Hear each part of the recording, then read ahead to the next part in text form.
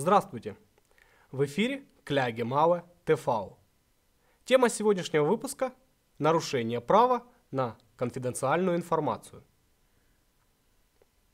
Практически в тайне от общественности американская секретная служба NSA, Агентство национальной безопасности, строит в пустыне штата Юта огромный центр наблюдения и шпионажа.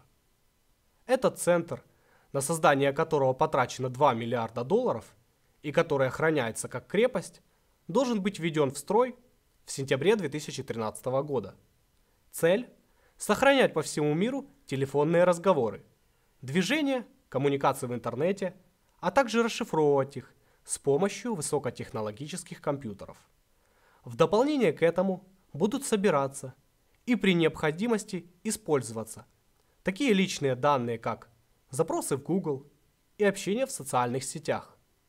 Конечно же, особенной целью агентов является отслеживание базы данных, коммуникации между правительствами и государственными органами в экономике и военной отрасли. Однако нам должно быть ясно, что с приходом этой нарушающей права человека системы слежки за всем миром, такие понятия, как конфиденциальность личных данных, практически перестают существовать. В подтверждение этому процитирую высказывание бывшего сотрудника Агентства национальной безопасности. Мы находимся уже на таком ничтожном расстоянии от готового тоталитарного государства, как если приблизить друг к другу большой и указательный палец руки.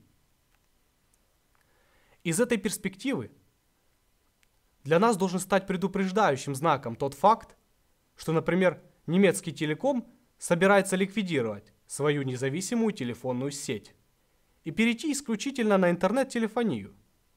Этим будет открыт путь для доступа всего мира к любому из телефонных разговоров граждан этой страны. И нет никакой гарантии, что эта участь не постигнет и остальных.